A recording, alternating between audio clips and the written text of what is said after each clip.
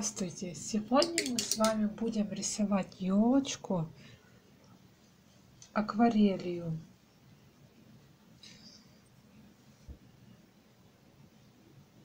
Что, начнем?